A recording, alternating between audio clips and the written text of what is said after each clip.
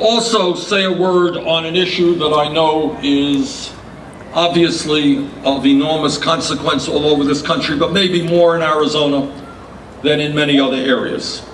And that is the issue of immigration reform.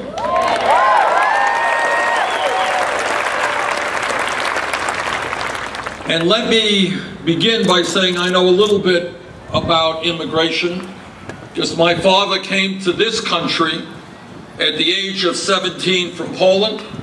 He came to this country not speaking a word of English, came to this country without a nickel in his pocket, and he never made a whole lot of money. I grew up in a three and a half room rent controlled apartment in Brooklyn, New York. And my mother's dream was that someday, maybe our family would own its own home and not have to rent. That never happened. She died young and her dream never came to pass. But my parents, both of them, were enormously proud, my father maybe especially, to see his two sons go to college and he enjoyed the opportunities that America gave him, and there was no prouder American than that young man who came to this country at the age of 17.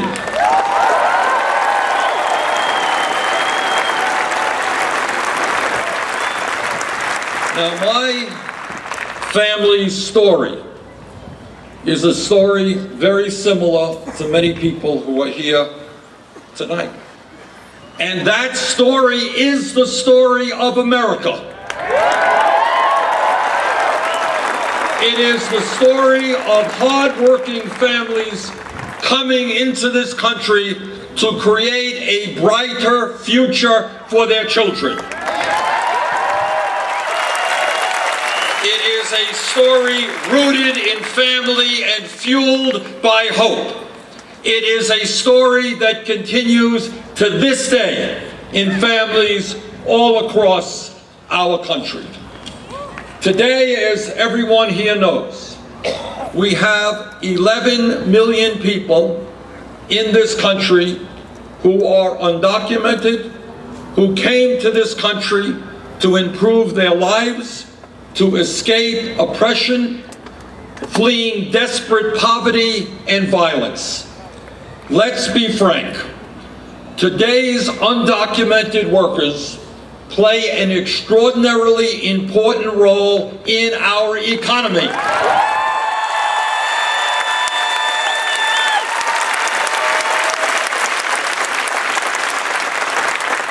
Without these workers, it is likely that our agricultural system would collapse. Undocumented workers are doing the hardest work in this country. They are harvesting our crops, building our homes, cooking our meals, caring for our kids.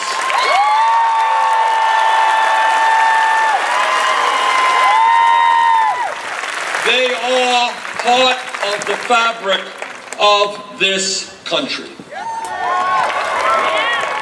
11 million people came to this country so they could feed their families, escape gang violence, and desperate economic circumstances.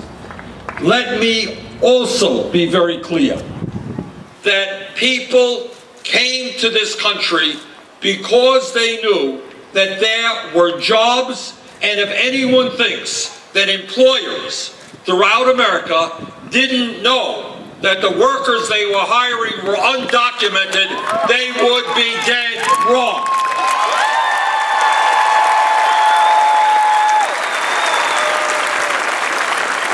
That is the reality of where we are.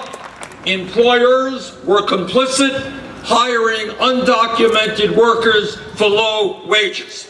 That's the fact. Slave wages, all right. And let me tell you a little story, if I might. Back in 2007, as the senator from Vermont, I went to a place called Immokalee, Florida. Anybody know where Immokalee, Florida is? What is unique about Immokalee, Florida, a small town near Naples. That's where they grow most of the tomatoes, low-grade tomatoes used by McDonald's and Burger King. I went there. On the day that I visited, just coincidentally, the U.S. attorney was bringing charges against a contractor for slavery. In 2007, people were being held involuntarily to work in the fields. And I saw the working conditions and the exploitation that these workers experienced. And I saw the horrendous housing that they lived in. And I'm happy to tell you that we had a hearing on this issue in Washington. We made some progress. Wages went up. Working conditions went up. But the truth is, there are many Immokalees all over this country where undocumented workers are being exploited. When you exploit people who cannot defend themselves, when you exploit people by paying them low wages, what you are doing is creating a race to the bottom for every worker in America.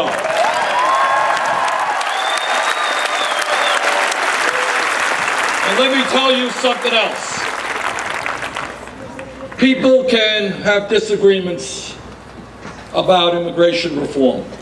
But in the year 2015, it is not acceptable to be stooping to racism and demagoguery in order to win some political votes.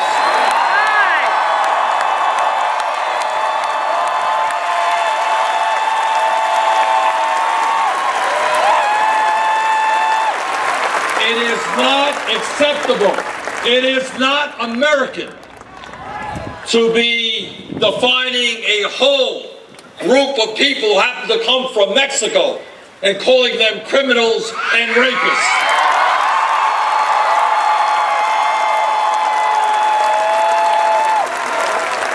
We have fought too hard in this country for hundreds of years to end racism, to end discrimination, to revert in 2015 to that kind of ugly language.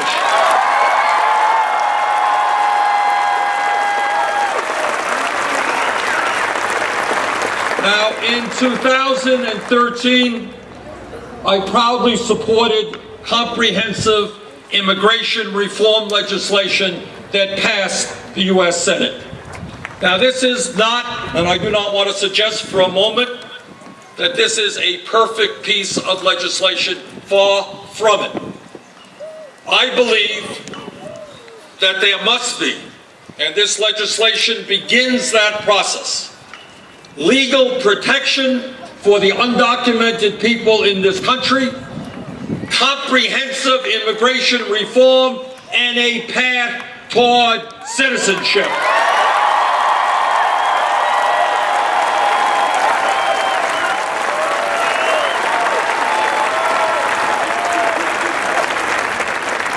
The Senate bill contained the provisions of the DREAM Act, which I strongly support, and which would offer the opportunity of permanent residency and eventual citizenship to young people who are brought to the United States as children.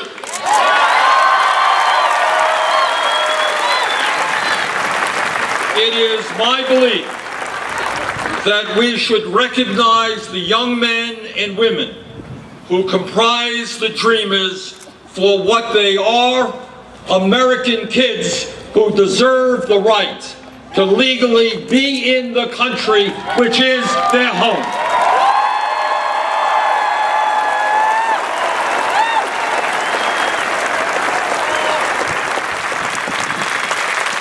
The Senate bill was far from perfect but at least it began the process of moving us in the right direction. It is beyond my comprehension that the House of Representatives has not yet even begun the discussion on immigration. Instead of reverting to racism, maybe they want to deal with this issue in a serious way.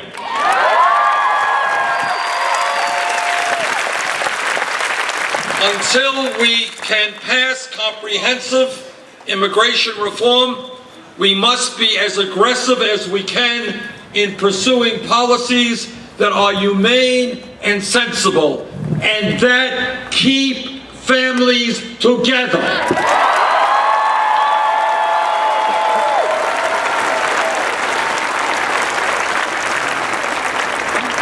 And this includes taking measures that are currently available, including using the presidential power of executive orders when appropriate.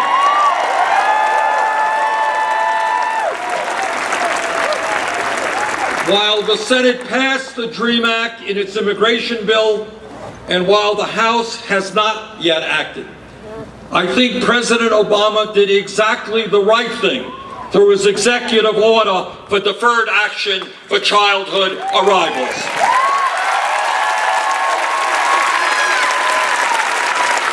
DACA, as it is called, was a good first step, but should be expanded.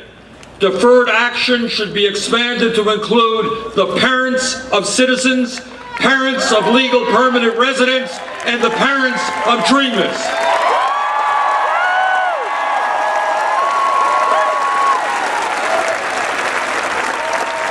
Our job is to bring families together, not tear them apart.